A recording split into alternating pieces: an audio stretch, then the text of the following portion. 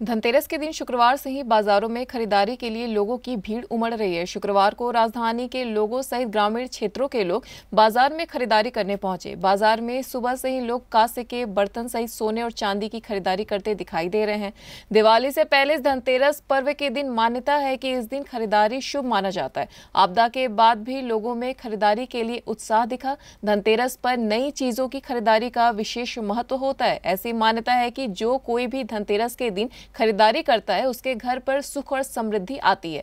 साथ ही यह भी मान्यता है कि धनतेरस के दिन खरीदी गई वस्तु कई वर्षों तक शुभ फल प्रदान करती है।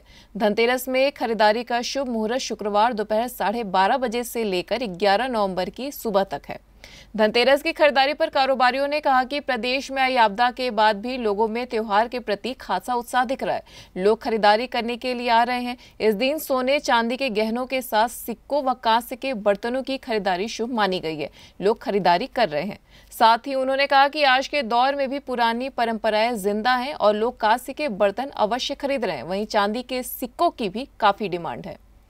वहीं धनतेरस पर खरीदारी करने आए ग्राहक ने कहा कि वह दिल्ली की रहने वाली है और उन्हें शिमला में धनतेरस मनाने का मौका मिला है। उन्होंने कहा कि आज के दिन खरीदारी का विशेष महत्व है। जो पुरानी परंपराएँ हैं, वह आज भी बनी हुई है और वह कांसे के बर्तन खरीदने आई हैं। मेरा नाम दीपिका हुआ। मैं दिल्ली से आई हूँ फ़िलहाल। तो कुछ काम से यहाँ घूमने के लिए आई थी पॉल्यूशन वगैरह से यहाँ, पहाड़ियों में। लेकिन आज पहली बार मुझे धनतेरस यहाँ मनाने का मौका मिला। इतने सुंदर सुंदर बाज़ार है और ये लोअर मार्केट है शिमला का। बहुत ही सुंदर सजाया गया है धनतेरस के दिन। दिए भी मिल रहे हैं, बर्तन भी मिल रहे हैं और आज के दिन जो परंपरा है धनतेरस में बर्तन खरीदने की, लोग खरीदते नज़र आ रहे हैं। जी जी, बिल्कुल, मैं सवेरे सवेरे ही आ गई हूँ यहाँ ताकि मैं अच्छे से टाइमली बर्तन खरीद के घर जा सकूँ। ठंड भी आज बहुत हो रही है तो मैंने अभी खरीदारी शुरू कर दी है। हाँ हाँ बिल्कुल। हर जगह ये देख लीजिए बिहार हो चाहे यूपी हो चाहे आज मैं हिमाचल में हूँ तो यहाँ भी देख रही हूँ जैसे दिल्ली में मैं देखती थी कि धनतेरस के दिन भीड़ उमड़ पड़ती थी लोगों की उसी तरह से इस लोअर मार्केट में अभी ग्यारह बजे हैं और लोगों की खरीदारी शुरू हो चुकी है। तो शाम तक ज़ाहिर सी बात है कि लोग और मार्केट में आएँगे और बहुत सारी खरीदारी करेंगे। मैं तो बर्तन ही खरीदने आई हूँ बाकी इसके साथ कुछ देख लूँगी गोल्ड वोल्ड का कुछ मिल गया तो अदरवाइज़ मेरा बर्तन ही टारगेट है। अजय बिंदल। अजय बिंदर लोगों पे बर्तन लेने का वो है। आज तो शुभ माना जाता है। लोगों के लिए धनतेरस के दिन बर्तन लेना शुभ माना जाता है। तो हर एक आदमी बर्तन लेने की डिमांड करता है। हमारे को बुक करा के जाता है कि हम आज लेने आएँगे जो।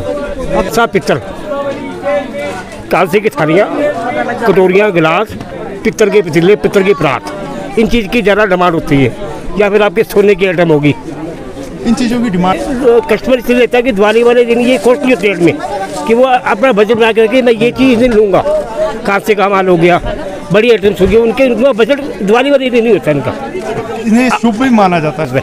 ये ये, ये जो कांसे का बर्तन होता है उनमें खाना शुद्ध होता है उसे बीमारी नहीं लगती।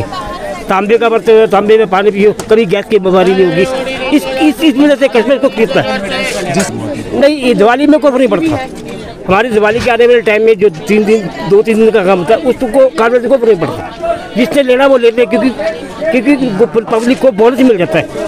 गवर्नमेंट बोनस देती है तो अपनी परचेजिंग वो करती करती बाकी बर्तनों के रेट रेट का भी कम नहीं होते। रेट बढ़ते महँगाई बढ़ रही है। हाँ रेट का भी कम नहीं महँगाई के बावजूद उसके बाद भी लोग लेते हैं। लेते हैं। हाँ लेते हैं। लेकिन वो अपने बजट के हिसाब से लेते हैं। वो लेंगे लेकिन साल में रुपया शासन ज़रूर करते हैं। शासन ज़रूर करते हैं। क्योंकि ये क्योंकि शुभ माना जाता है। इसको लक्ष्मी पूजन मानते हैं। चाहे वो दो रुपये की चीज़ ले लें चाहे वो सौ रुपये की चीज़ ले लें छः पचास हज़ार की चीज़ लेंगे जो? अपने बजट के हिसाब से लेंगे। थोड़ा सा राकेश है जी मेरा नाम।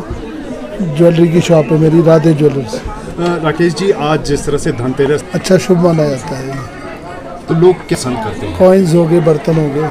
चांदी के सिक्के? हाँ जी हाँ जी चांदी के सिक्के। बात की जाए तो शाम तक पता लगेगा सुबह का टाइम है।